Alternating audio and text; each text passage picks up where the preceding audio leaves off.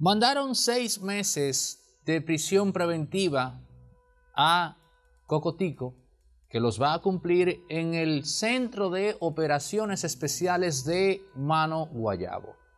Ya comenzó mal este caso. Cocotico, para quienes no lo recuerdan, es el cabo, es el agente policial que tuvo una especie de interacción desafortunada con el padre del jovencito Donali Martínez, quien fue quien en última instancia pagó las consecuencias del desatino del cabo y del padre también, hay que decirlo, eh, aunque suene crudo. Pero bueno, entonces eh, este señor que se había dicho que intentó arrebatarse él su propia existencia y que luego se dijo que había un plan para eliminarlo porque él estaba haciendo esto a modo de encargo, imagino yo que entonces para calentar a la actual jefatura de la policía, me refiero al mayor general Eduardo Alberto Ten. Y digo que este caso comenzó mal porque ese centro de operaciones especiales de Mano Guayabo es el lugar al cual envían a todos los oficiales, a todos los agentes que han estado involucrados en acciones que afectan la integridad física de los civiles. A todos los oficiales que han estado involucrados en complots para arruinarle la existencia y la vida a cualquier persona de clase media baja en adelante que sale a la calle a trabajar, que sale a la calle pendiente a buscarse lo suyo para sí y para su familia. Yo no sé qué es lo que tiene el centro de operaciones de Mano Guayabo, pero algo hay ahí. Y un servidor lo ve como la tapadera. O sea, el primer paso para usted saber que el asunto va a terminar en el limbo y que se hará absolutamente nada es precisamente ese. Enviar a la gente involucrado al centro de operaciones de Mano Guayabo. Allí se pierde y uno no sabe absolutamente más nada de ellos.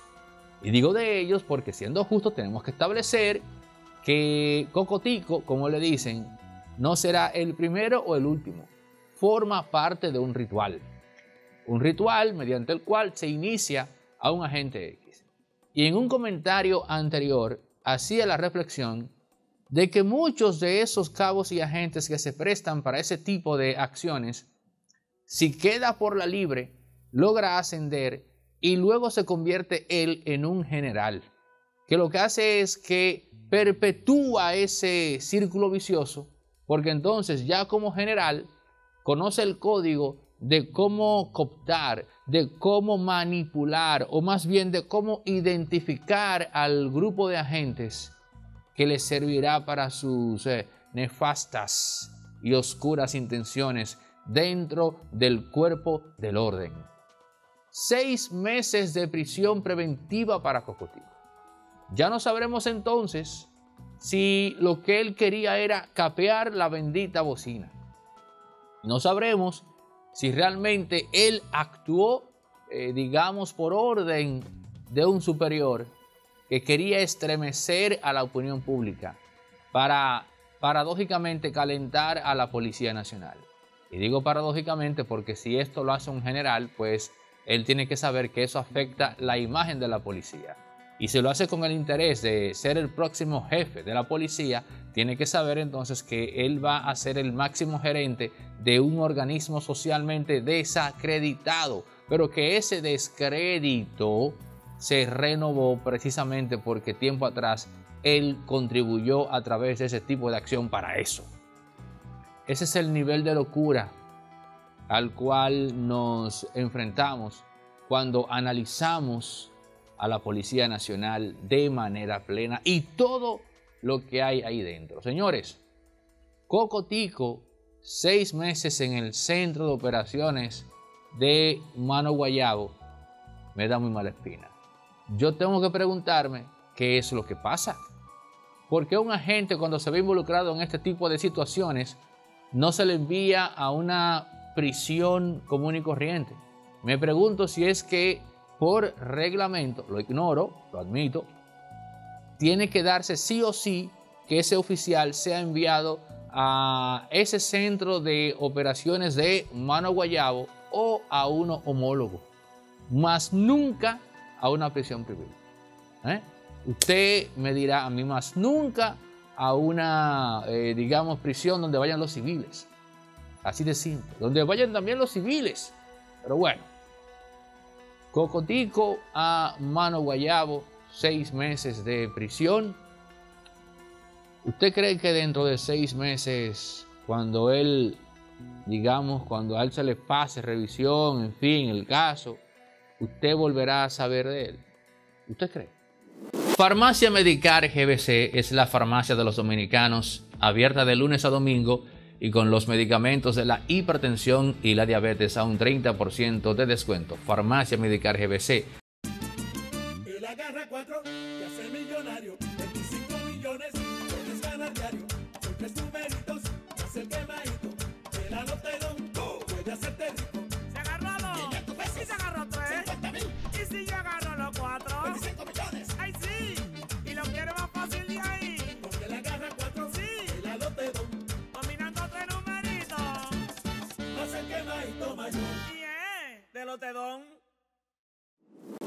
La que nunca falta en el set de grabaciones de Impolíticamente Correcto. Mientras yo estoy grabando, la señorita Atelana está siempre dándome vuelta en casi todos los capítulos. Mira ahora la cámara, la cámara Atelana, ¿eh? La cámara. Mira los pelitos cómo se le salen. ¿eh? Mira la cámara, la cámara Atelana, la cámara. Vamos a hablar ahora, señores. Atelana, vamos a hablar de, ver, del tema este que es tendencia y lo voy a hacer a modo de disipar mis neuronas. El asunto de Sabrina Gómez y por qué se fue de Alofoque. Aunque él la fue, ella también se fue. Es un caso, es un caso insólito o interesante porque ella se quería ir y él la fue. Y de eso vamos a hablar ahora. Miren qué es lo que pasa. Este tema fue tendencia. Yo he estado observando una conducta en el joven Santiago Matías, el joven cuya fortuna, según él mismo dijo en el lanzamiento de la cerveza eh, República, anda por los 450 millones de pesos. Santiago Matías quiere, anhela la convalidación de la clase media de República Dominicana, que es donde está ese mismo grupo que a cada rato lo convierte en tendencia porque lo odia, porque lo detesta. Pero en esa misma línea, él también quiere hacerle sentir a la clase alta de este país que él puede darse el lujo de contratar a cualquier persona y de que a su vez, lo que en efecto es así, es el dueño de medios que mejor paga en República Dominicana, lo cual también es cierto. Amén del jabón en el sancocho que le echó esta muchacha, Jessica Pereira, pero realmente hay que decir que por la milla, Santiago Matías es el empresario de medios que mejor paga en este país. Te puede ganar, por ejemplo, 50 mil pesos en CDN como productor. Bueno, pues Santiago Matías lo mínimo que le paga a un productor son 80 mil pesos. Su productor general gana 140 mil. Un gerente de Grupo Corripios difícilmente gane 140 mil pesos. Pero bueno, entonces, en esa misma línea, Santiago Matías también necesita la convalidación de los intelectuales de este país. Pero Santiago Matías no tiene abolengo. Santiago Matías no tiene formación intelectual. Santiago Matías no viene de esa clase media.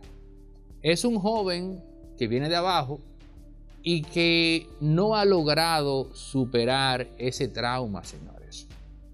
Ese trauma del pobre que tiene éxito, en el caso de él, sobre la base de trabajo, como, como, como, el, que, como el que más, y a base de insights y descubrir oportunidades.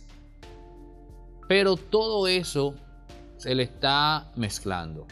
Yo no digo que esto sea la semilla de su fracaso, muy al contrario, pudiese ser el combustible para que siga teniendo éxito, e entiéndase ese resentimiento Fíjense en el perfil de quienes él contrata en el programa Esto no es radio. Pedro Casals, por ejemplo, y José Martínez Brito son jóvenes cultivados.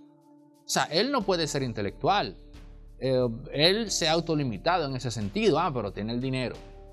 Tiene el dinero para pagarle al joven cultivado. Él lo que está haciendo con eso es sometiendo al joven culto. Ya se está convalidando para sí.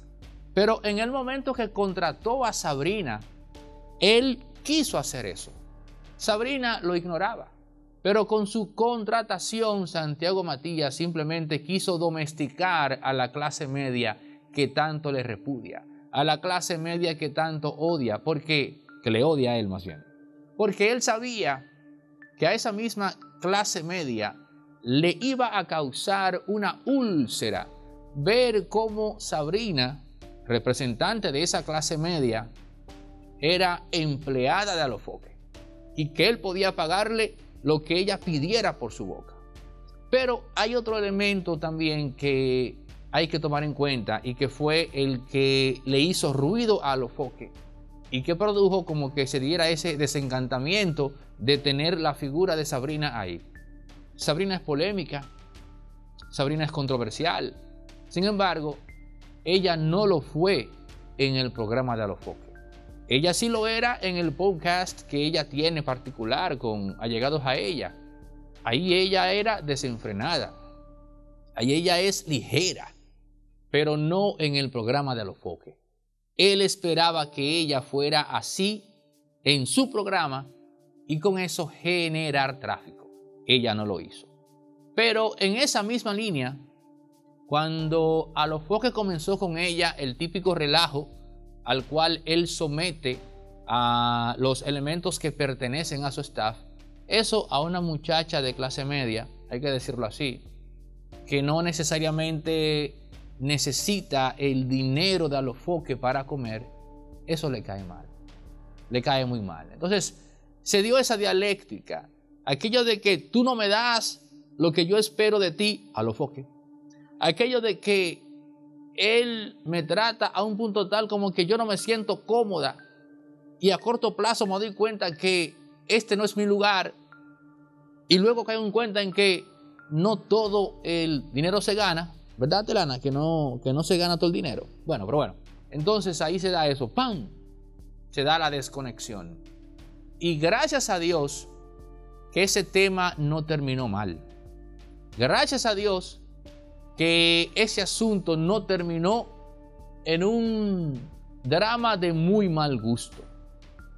Sabrina debe decir al menos que en la fase final Santiago Matías se comportó con ella como un caballero.